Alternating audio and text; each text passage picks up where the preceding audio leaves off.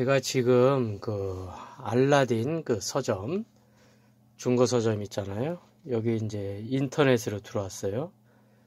들어가서 이렇게 디펙 초프라에 대해서 이렇게 검색을 해보니까 마음의 기적이라는 이 책이 있네요. 여기 그 도소 도솔이라는 분이 번역을 하셨는데 네, 구판은 이제 절판이 됐고 이렇게 나와 있습니다. 여기 마음의 기적이라는 책에서 이제 그 댓글을 달아놓은 거예요. 어떤 분이 그 책에 대해서 이제 그거를 제가 읽어드리도록 하겠습니다. 세계적으로도 가장 저명한 심신의학자인 저자는 질병과 건강을 보다 큰 의미로 접근한다.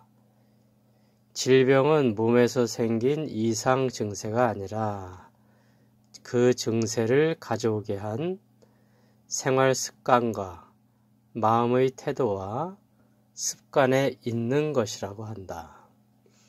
건강이란 몸에 질병이 없는 상태가 아니라 정신적으로 건강하고 마음의 행복 상태에 있는 상태를 말하고 그에 따라 몸도 행복한 사람을 말한다. 나아가 그는 몸과 마음을 관통하는 생명, 우주적 생명과 맞닿아 있는 상태를 진정한 의미의 건강이라고 말한다. 앞장에서 그가 많은 사례를 들어 마음이 질병을 만들어내는 것과 그 마음의 자기 계시로 불치의 병을 낫게 만드는 것에 대해 이야기하고 있다.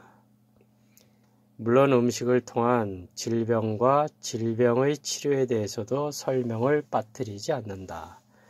하지만 그곳에서도 정말 중요한 것은 어떤 음식이 보편적으로 모든 사람에게 좋다는 것이 아니라 자신의 몸이 진정으로 요구하는 것을 알아차리고 섭취하는 방법이 중요하다고 말한다.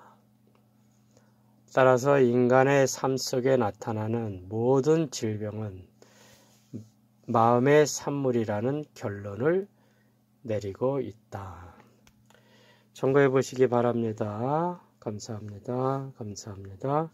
감사합니다.